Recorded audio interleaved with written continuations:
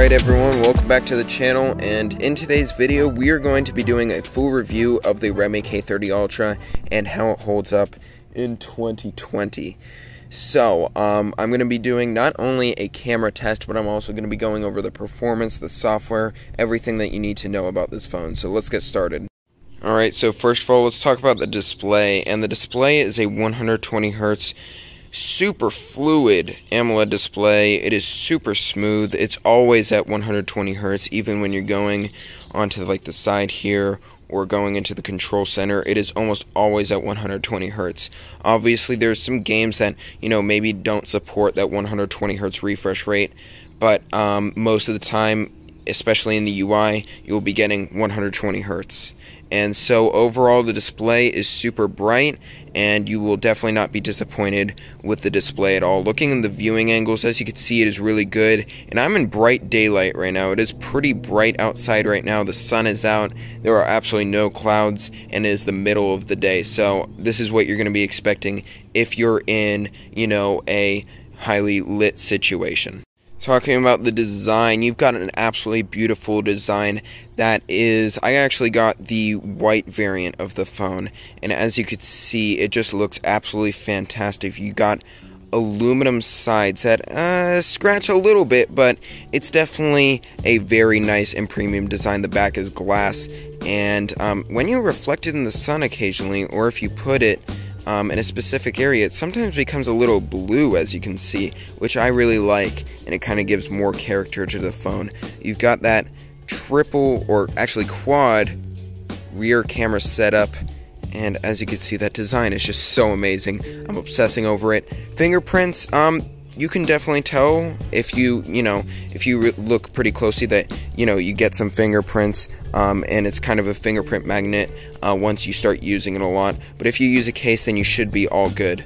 What's also really awesome is that you got dual stereo speakers which is really rare in a smartphone. Um, that is mid-range. As you can see, you got dual stereo speakers right here, and that's really impressive um, that they put this into a phone of this price. Okay, so now let's talk about the gaming performance and the performance overall. So you got the Dimensity 1000 Plus, and this is a fairly new chip. So this actually got released in 2020, so it's a very new chip, and one of the first phones to have it was the Redmi K30 Ultra overall, it's a really solid performer, and uh, you really won't be disappointed with the performance at all. Gaming uh, is really great. Lots of titles support sometimes 90 FPS. Some titles obviously don't support the full 120 FPS, but overall, it does do a really great job. So you should expect really great performance. Okay, so now let's talk about something that's pretty important, and that is Widevine Level 1. That basically means that you can you know, have um, HD Netflix and stuff like that, and this phone has that. Um, also, the Geekbench scores are really good. They're about as good as like a Snapdragon 855, and uh, also the Antutu scores are pretty good. Um, so yeah, now let's talk about the cameras. And so the cameras, before I actually get into the camera test um, and give my camera thoughts after, um, I just want to say that there is no 4K 60 FPS recording. So uh, yeah, just keep that in mind while you're uh, watching the camera test.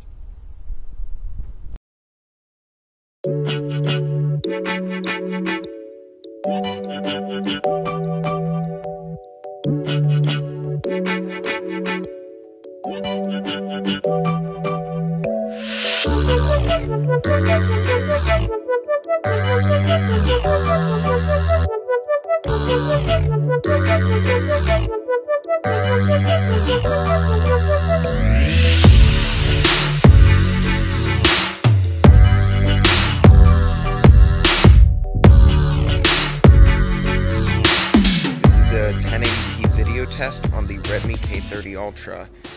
you can see, it's completely capped at 1080p. You can't do 1080p 60, you can't do 4K, you can only do 1080p. Overall, I'm actually liking it a decent amount. Um, now, I noticed that the dynamic range is not great, but I gotta say, the colors are really great, just like the OnePlus 7 Pro.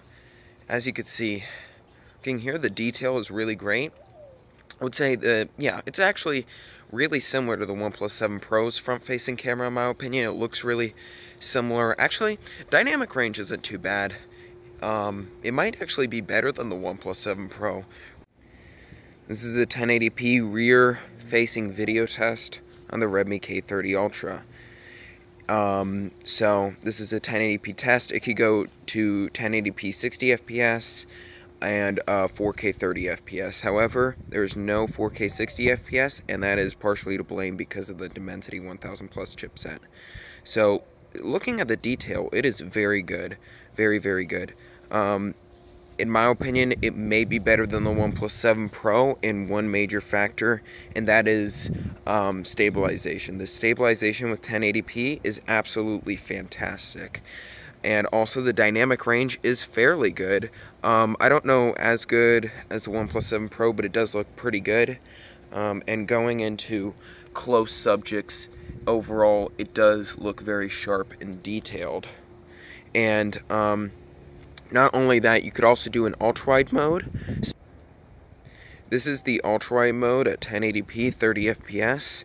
It can only do 1080p 30 FPS or 4K 30 FPS. And as you can see, definitely gives a pretty wide effect. The detail, it isn't great. And, um, you know, it's not really the best um, in terms of it can't really focus like the OnePlus 7 Pro could on uh, different subjects because uh, there's no autofocus here. You have to do like tap to focus. Um, but overall, it does uh, do a fairly good job in my opinion. Um, and once again, the stabilization is absolutely fantastic.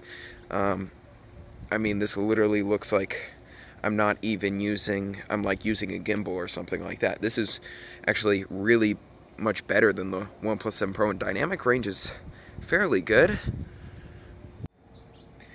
This is a 1080p 60 FPS video on the Redmi K30 Ultra, and as you can see once again, the stabilization is absolutely fantastic, and this is one of my favorite modes uh, to film video.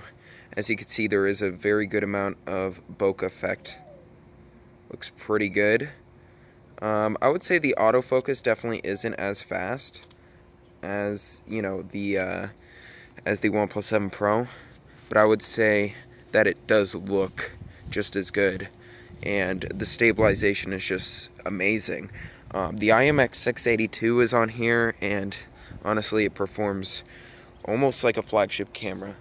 Now I'm not saying I'm saying almost because I don't think it really performs exactly like a flagship camera, but it's definitely extremely close. And uh, yeah, this is a 4K 30 FPS video test on the Redmi K30 Ultra, and this just looks absolutely fantastic. Looking at the detail, it's just there's just a ridiculous amount of detail here. This is probably I would consider 4K 30 FPS video basically so close to flagship. It is so close. Look at that detail up close. And as you can see, just amazing how it looks. The stabilization is very good for 4K 30 FPS. Most phones in this price point doesn't do not look this good. Now, obviously, it doesn't have 4K 60 FPS, but I really don't mind it considering how good the 4K 30 FPS video is, and the 1080p uh, 30 FPS video is uh, 60 FPS video is fairly good, and um, I'm just so impressed with this camera already. Um, it's just such an impressive camera for this price point. Um, you know, this is a a $380 to, you know, $420 phone. I found it around there, that kind of price point. And as you could see, I mean, it's definitely worth the price. Um, now, what I do notice a little bit is, um, and I've noticed this when I was uh, yesterday, when I was kind of taking some videos, um, that occasionally when I'm panning around, there is a little bit of like stutter, kind of, but honestly, considering I think it helps kind of with stabilization a lot. Um, okay, so let's talk about a few more things. So, uh, let's talk about the software. So this has MIUI version 12, and uh, there's supposed to be the MIUI 12.5 update at some point. However, we have no idea when that's actually going to be released, especially to the Redmi K30 Ultra. However, in terms of the software that we have right now, it's really great.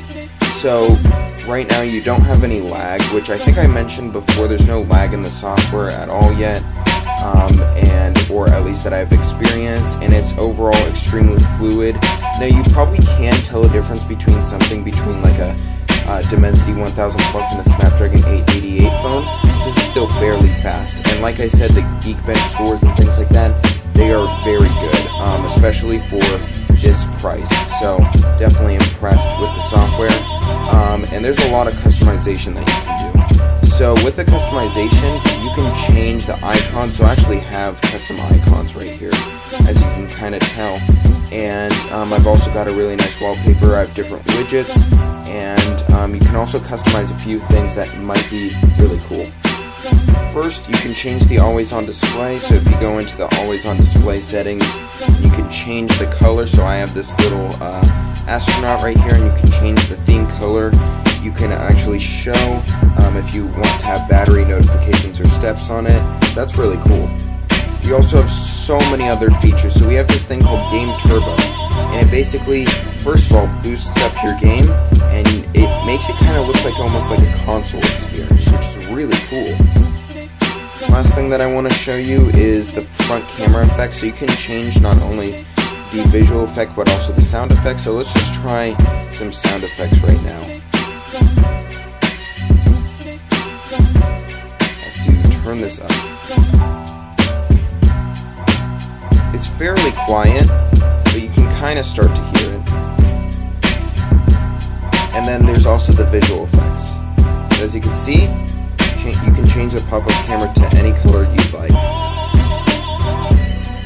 It's really cool.